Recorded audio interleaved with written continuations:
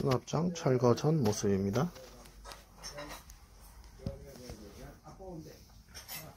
철거 후 모습. 콘센트 다시 원위치. 철거했습니다.